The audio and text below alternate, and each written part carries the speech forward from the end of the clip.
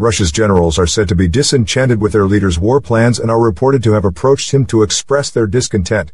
Vladimir Putin is facing a mutiny from his top commanders after they reportedly told him his war goals in Ukraine were unachievable.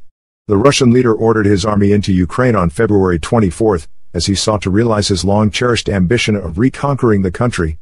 By all accounts, Moscow envisioned a quick victory as they prioritized the capture of the capital Kiev. However, fierce Ukrainian resistance forced the Kremlin to downgrade his original plans of total conquest. Putin turned his attention instead to seizing the Donbas in its entirety, the eastern territory made up of Luhansk and Donetsk provinces. Despite taking control of Luhansk in the summer, Russia's army has made little headway in Donetsk and is on the brink of losing the strategic city of Lyman. It suffered a major defeat in September after Kiev launched a devastating counterattack in the Kharkiv region. Don't forget to subscribe to our channel for breaking news and like the video.